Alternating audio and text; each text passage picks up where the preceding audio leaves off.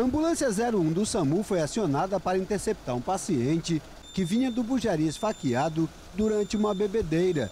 A tentativa de homicídio aconteceu no final da tarde de domingo, na rua João Borges, no centro da cidade. A vítima, Maurício Antônio Duarte, 22 anos, sofreu três perfurações no ombro.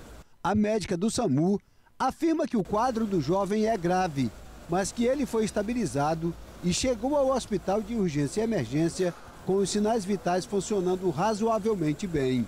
Vai precisar ser submetido a um procedimento cirúrgico o mais breve possível. Ele tem um ferimento soprante, né? Tinha uma artériazinha também, estava com, tava sangrando bastante quando a gente chegou. Ele estava evoluindo com dessaturação, né? Taquicardia, a gente realizou medidas para controle de choque dentro da ambulância. Conseguimos transportá-lo com sinais vitais estáveis, apesar da gravidade do quadro, né?